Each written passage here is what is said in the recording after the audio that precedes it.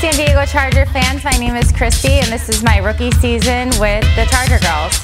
The hardest part about the audition process for the San Diego Charger Girls was um, waiting to hear my number called and knowing that my life was either going to change forever or stay the same. It was a little nerve wracking, but I definitely heard some great news and my life has changed for the better.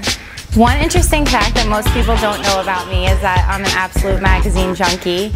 I read everything from Time magazine to Cosmo, and I have multiple magazine subscriptions that come in my mailbox every month, and I get really excited.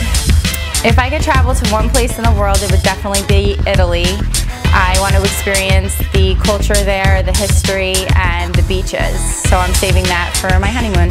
If I could speak any language other than English, it would be Italian because I definitely think that it's a beautiful language secretly I've always wanted to be Italian rather than German. So.